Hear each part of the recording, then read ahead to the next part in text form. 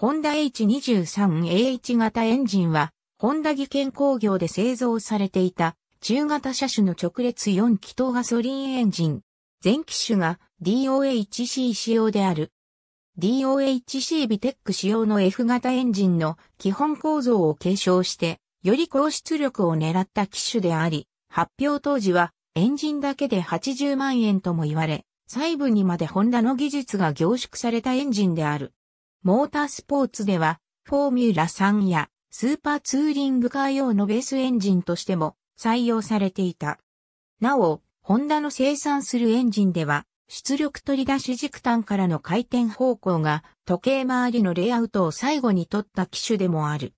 旧、排気ともに2個ずつバルブを備え、肺側吸気カムの最大リフト量は 11.5mm と他形式のビテックエンジンと比較しても大きい。そのため、高回転時の追従性を向上させる目的から、異形断面のバルブスプリングが適用されている。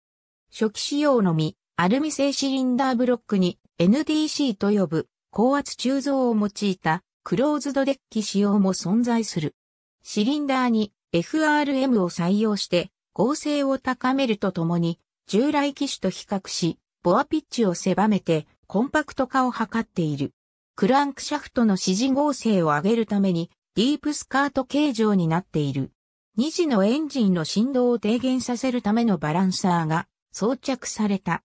インテークマニホールドの各気筒のポートにインジェクターが取り付けられたマルチポイント式 PGM ファイを採用し、インテークマニホールドには可変換性吸気装置が装備されている。エキゾーストマニホールドは、ステンレス製の4から2から1集合で、排気抵抗の低減や排気脈動による排気効率を高めた。アスコット・イノーバと当時提携関係にあった A、ローバーのローバー600用に初期型 H22A ベースで開発された。FRM シリンダーライナーやクローズドデッキ構造のシリンダーブロックを踏襲し、ストロークを伸ばし排気量を拡大された。可変換性吸気システムやツインバランサーシャフトなども装備されたが、搭載車両の特性上、高回転化の必要性がなかったため、同弁系にはビテックは装着されていない。